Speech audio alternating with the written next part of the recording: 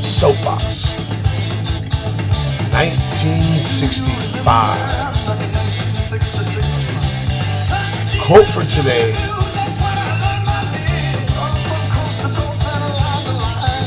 February 10th, 2010.